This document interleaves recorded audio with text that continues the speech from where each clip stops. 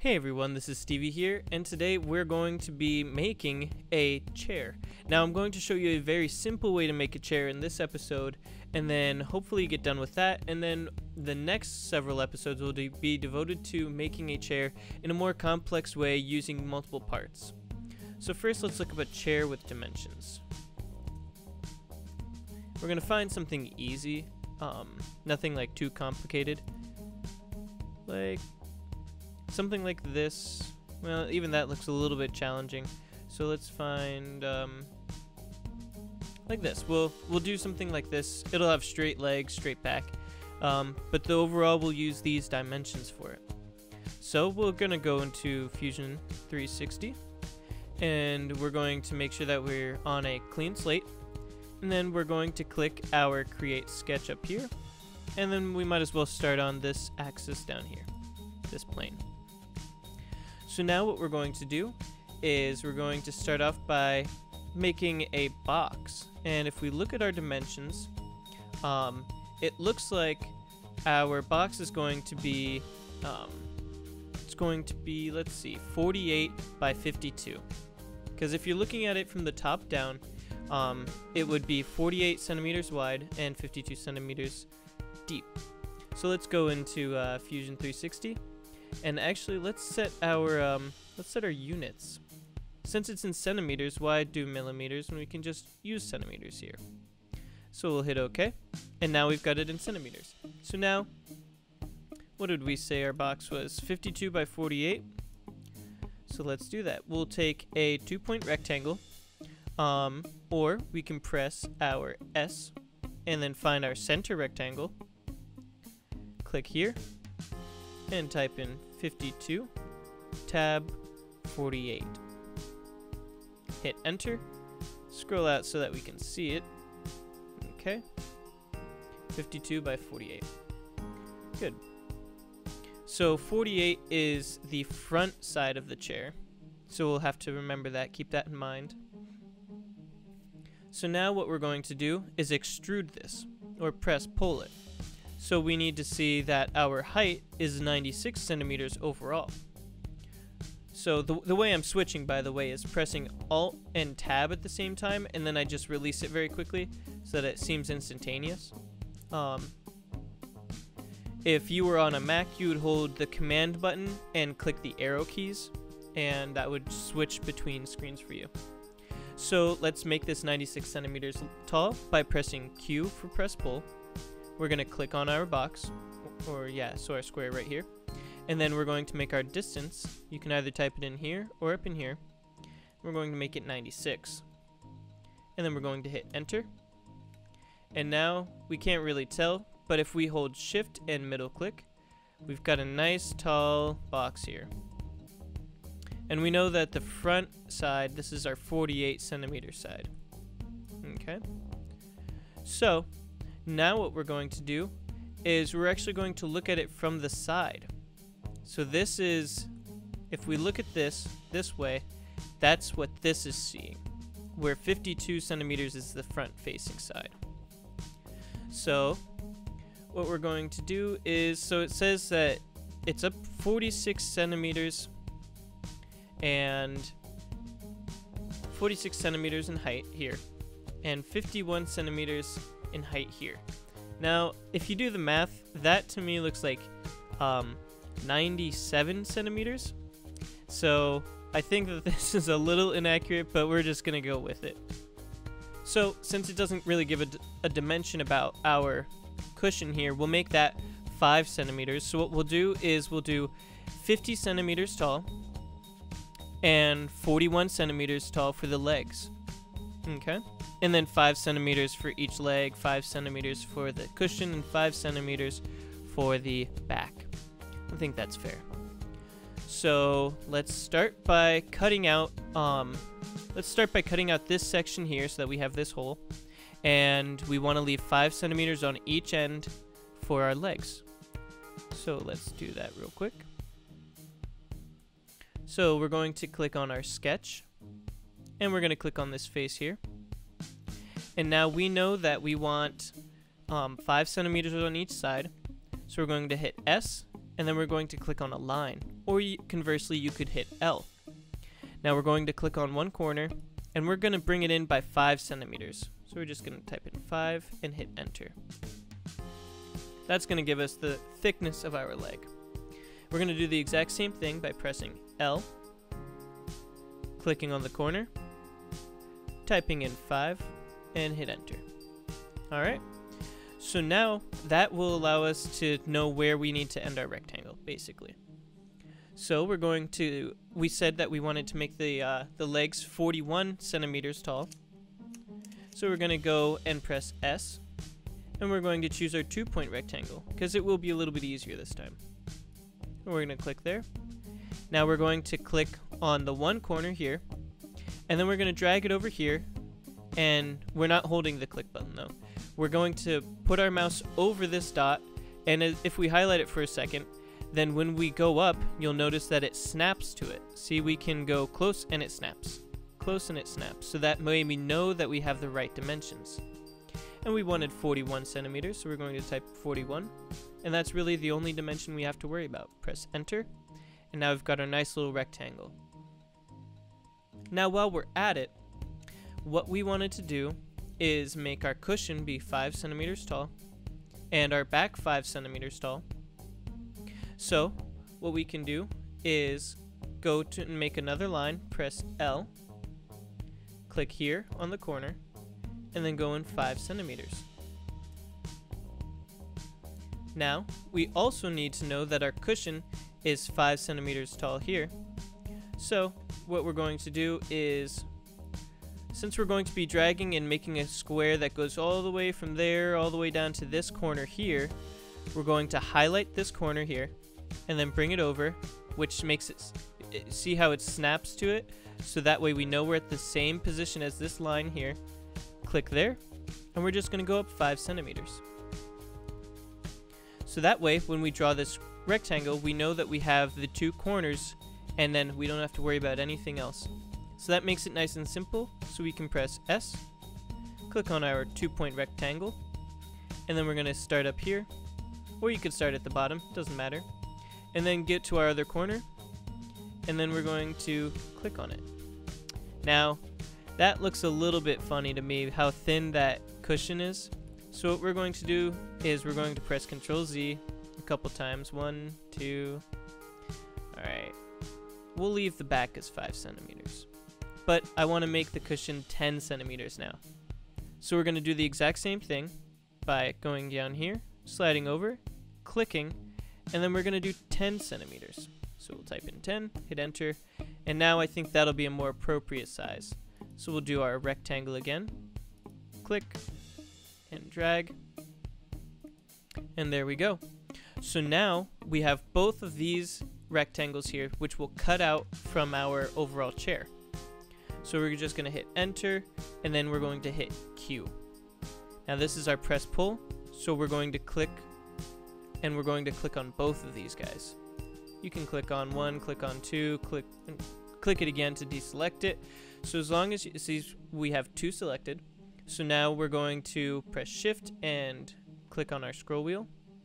And see how our arrow is directed outward? If we gave this a positive value of like a distance of 10 centimeters, it's going to extrude it. It's going to push it out. What we want to do is we want to cut out from it. So we're going to make it a negative number. So what we're going to type in is, I don't remember exactly how wide it is, so we're just going to type in negative 60, because I know that'll be enough, and it even shows you that it's enough. And we're just going to hit enter.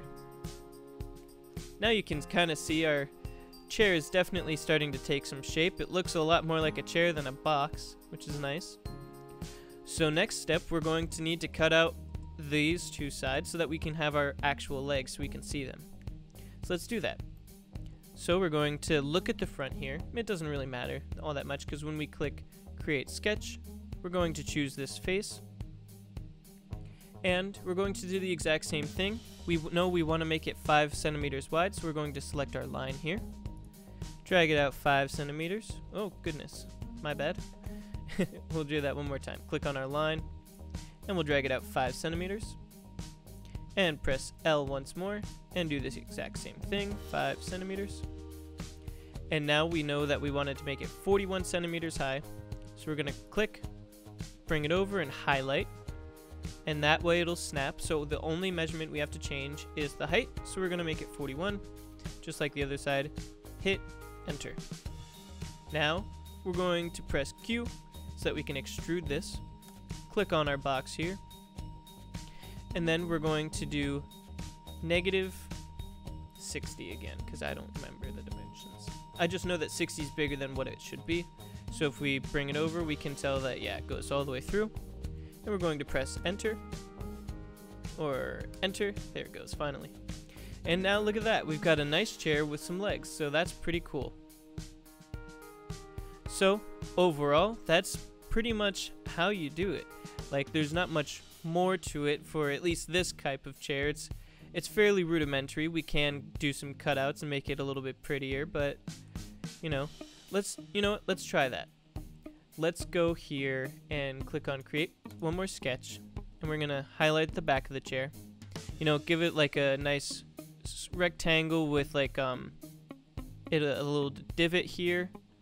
Uh, you guys will see what I mean because we're going to be drawing it, so you'll understand it in a second.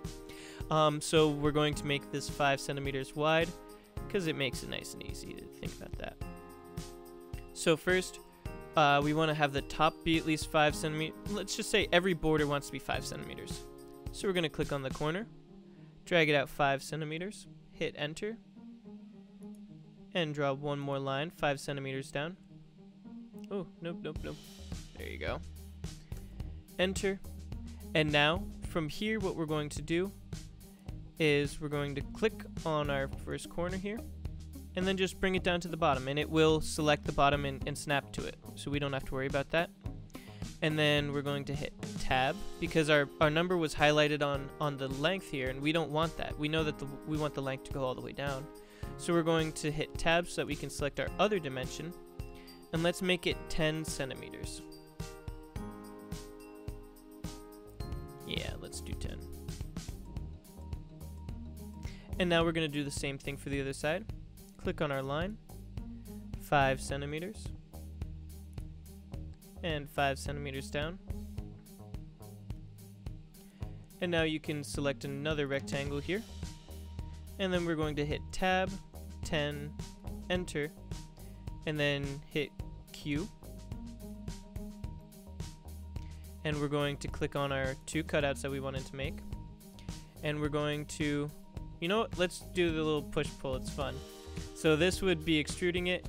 Well, first, let's make sure that we have both selected. And so we're just going to bring it backwards so it's red, which means it's taking away material. And hit enter. And then what I wanted to do was make um, two like divots in the middle, kind of like half circles. So we're going to do another create sketch. Click on that back of the chair real quick and then we're going to click center diameter circle. This will make it nice and easy. And if you see, all of a sudden it snaps to the middle here. This is the center line of this line here, which is nice. So we don't have to do any calculations or anything. It knows that this is the middle, this is where we want it to be. So we're gonna snap there, and we're just gonna bring it out a bit. Yeah, I guess I did make it a little bit too uh, thin. So what we'll do instead is we'll probably do an arc of some sort. Yeah.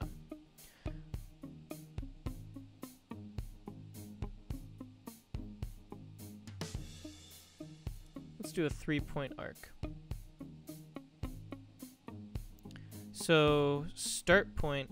So now we are actually going to have to draw some, some lines. So we know that this length here is 40 centimeters. So what we're going to do is we'll do, um, oh goodness. Let's start at 10 centimeters down. So we'll do 10 centimeters.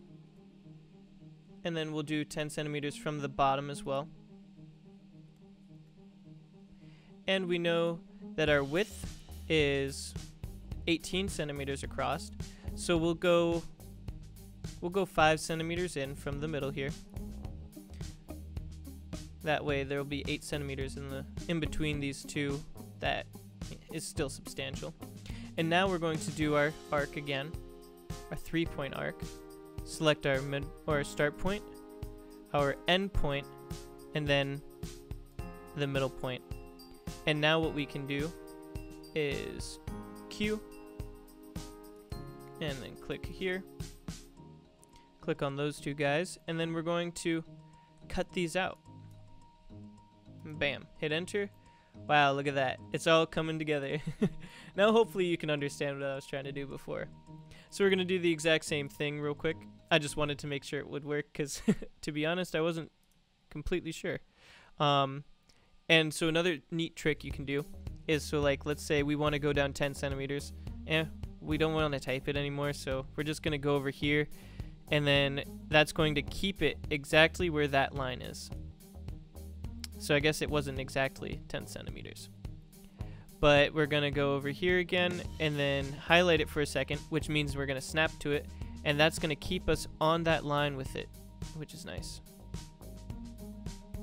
Of course, it doesn't want to keep it all the way there, so we're going to type in 10 centimeters anyway. I don't think this one was right, so we're going to delete that and do it once more. Just type in 10. Oh, goodness. One more try. 10 centimeters. There we go. Alrighty, and now we're going to go to our center point, and then we're going to go over 5 centimeters, and then we're going to create our arc once more. So our start, our end, and then our middle point.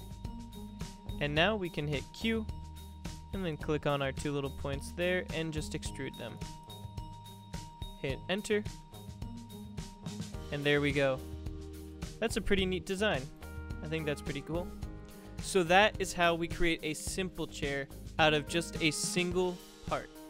Now next time what we're going to do is we're going to start at least making a multi-part chair. So we're going to make the cushion separately, the the top part separately, so the back and all the legs separately. So it'll be interesting to see, and then we'll be able to actually show how to assemble things once more so that, you know, over time with practice we become more familiar with it. So thank you guys very much for watching. Please like and subscribe, and comment down below what you want to see me do next. Um, I'm here to help you guys out, and liking and, and subscribing definitely helps me out because that way I know that I'm doing the right kind of thing and helps the channel out. So thank you again, and tune in next time so that you can see how we can actually start making a more complex chair than this one.